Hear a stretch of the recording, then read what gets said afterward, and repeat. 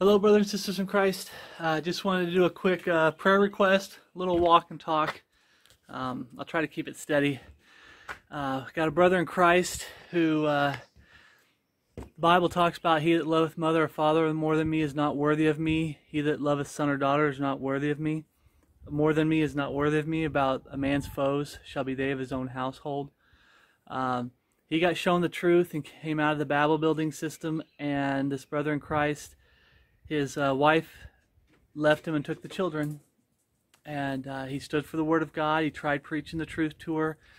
And he just, he really needs our prayer, brothers and sisters in Christ. So um, that's one of our, my main prayer requests for today is just for men and women like him, but for uh, Brother Alex, I'll say his first name, Brother Alex, um, and people that are in that position that their family starts turning against them, but it's, it's harder when it's someone very close to you, like your wife or your husband.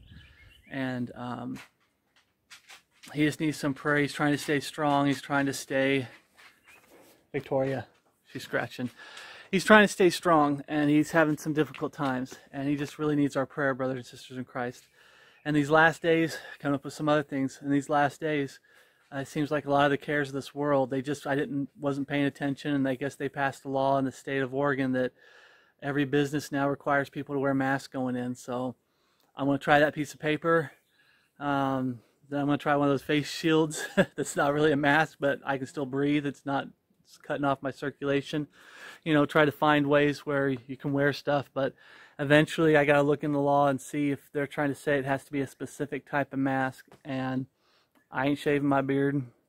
So, bottom line, things are just getting tougher. And speaking of which, um, my cistern, it didn't go dry, but it went past the safety shutoff point. So, I'm not getting water from my cistern anymore.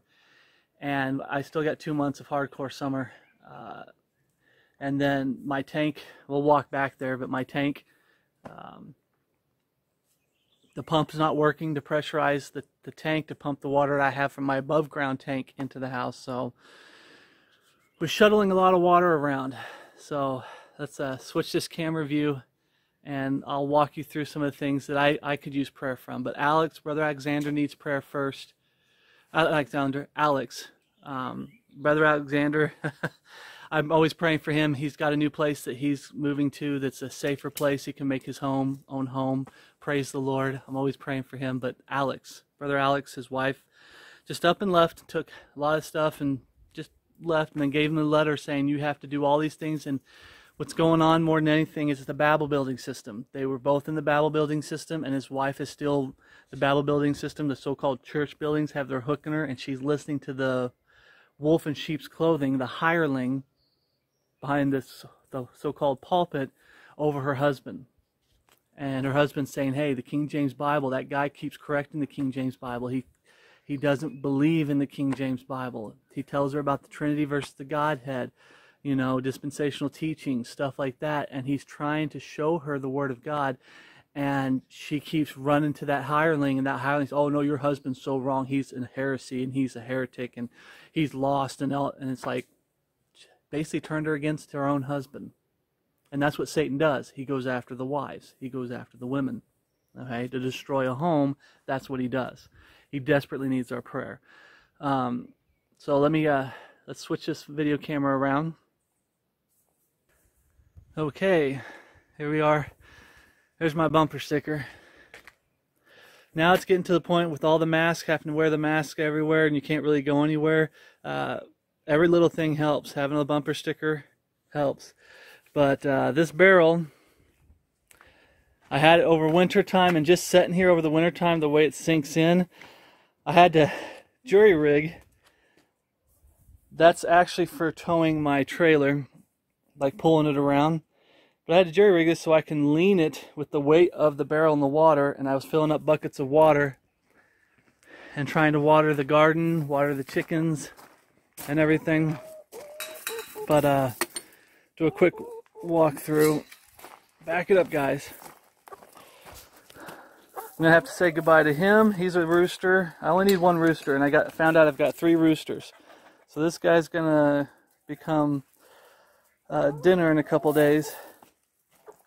He's the primary rooster. He's the dominant one. He's doing good. He's getting all these guys in where they're supposed to go. So he's doing good. So this guy here, sad, but he's going to have to go.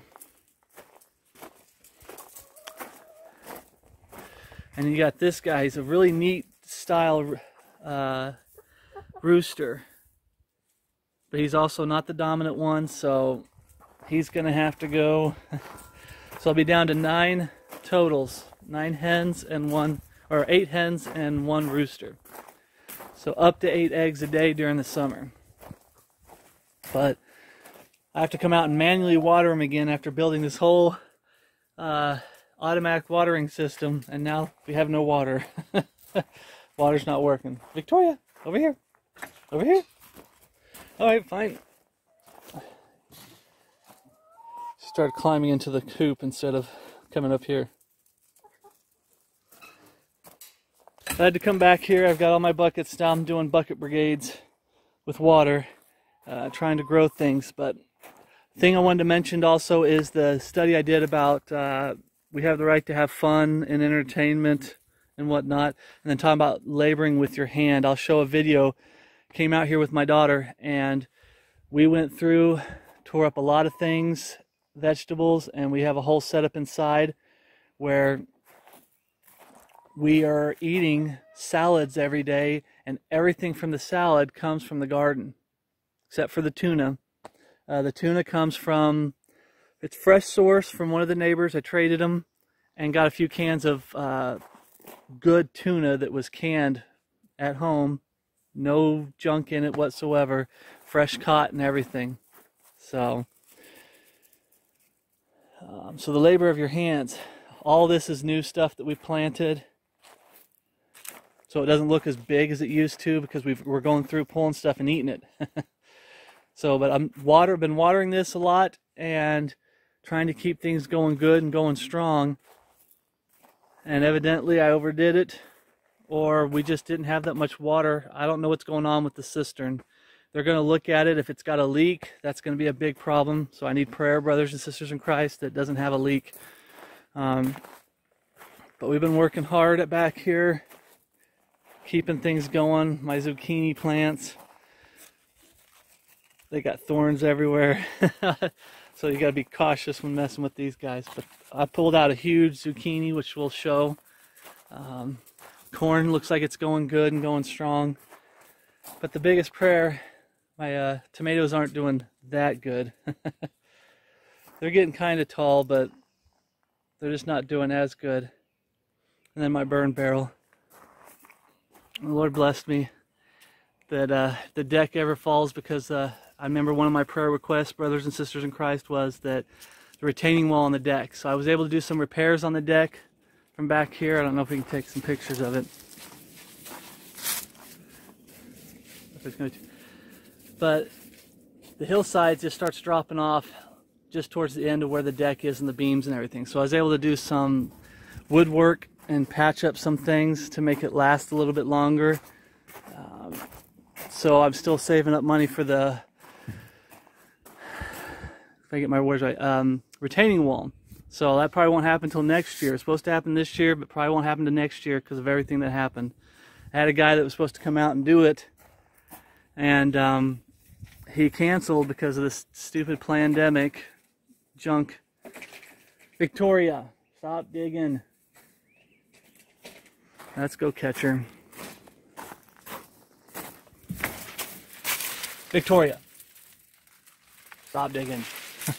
Dogs like to dig, but always in the wrong spot. But um, no, the one thing I really, really would like to do is I would like to have a well. A lot of people in the neighborhood after that last drought we had, brothers and sisters in Christ, um, they started getting wells dug, and praise the Lord that they had the money for it. But I just don't have the money. It's going to cost close to 15 grand to get a well dug, and then it's going to cost, uh, I think it was like eight grand. One guy that gave me the estimate for the retaining wall, and I trying to figure ways that I can do what I can do and cut the cost down big time and just have him do the starting part. So I'm doing what I can. I don't know if you can hear that. But that's the pump. It'll kick on for a little bit and then kick off. So this tank is full of water. I mean, it's good to go for the house, for everything. But the pump underneath there is not working. Then when I mess with the wires, it looks like rats are gnawing into the electrical wires. I got traps galore. So, brother and sister Christ, I guess the biggest thing, uh, let me walk over here. I'm going to switch views real quick.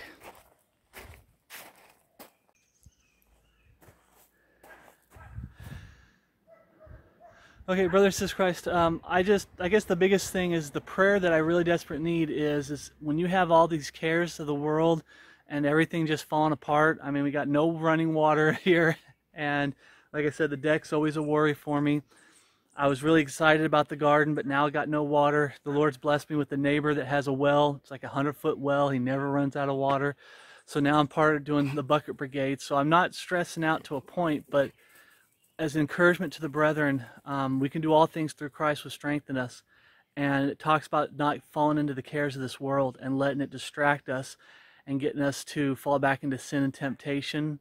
A lot of addictions that we have problems with, brothers and sisters in Christ. I'm trying to switch arms. It's it's an escape. It's an escape so you don't have to deal with the real world. And it's so easy to be fallen to fall into temptation and then choose to sin, but fall into temptation when life gets hard. So uh, the cares of this world come crumbling down. You just want to say, well, I want to just escape somewhere and just ignore it all. Uh, that's not the answer. Um, so, brother and sister Christ, please pray for me.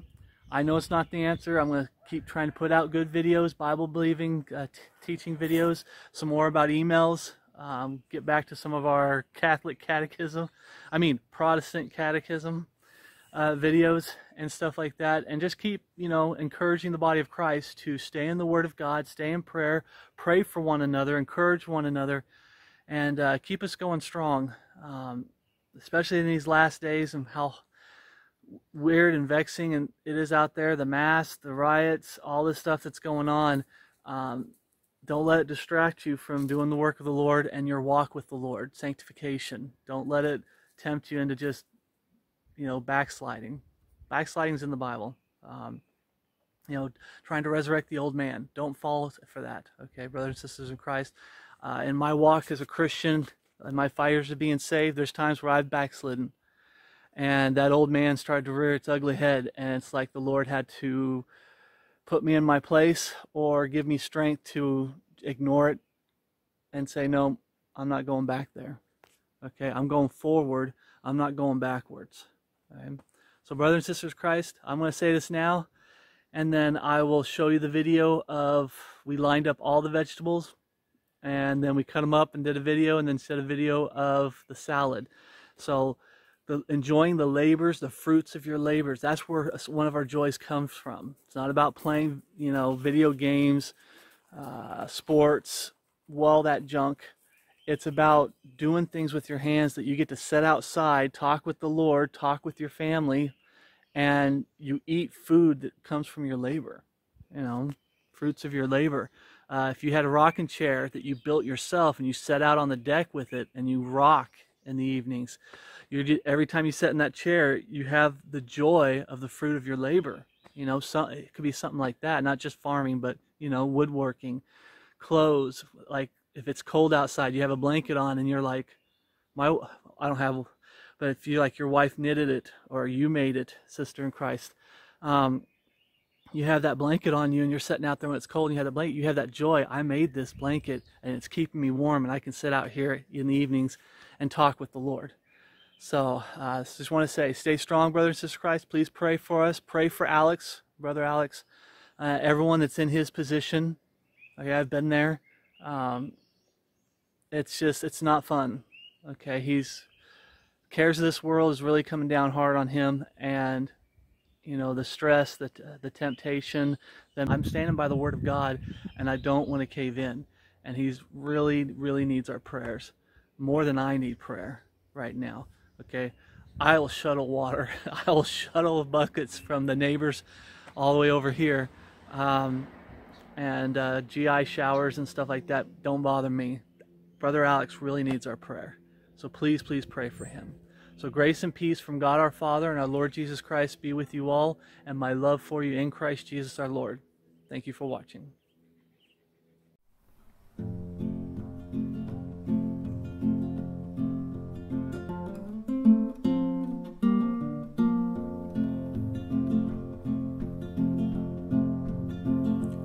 Make my burdens lighter,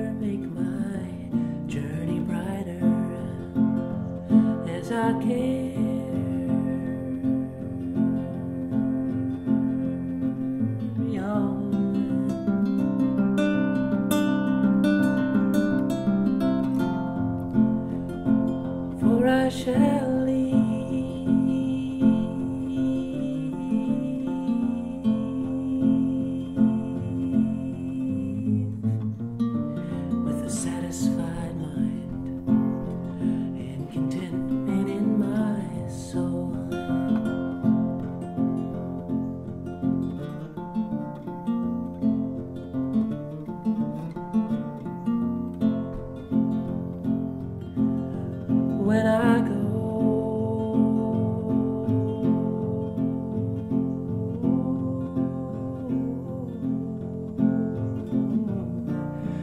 to stand upon the hill so high.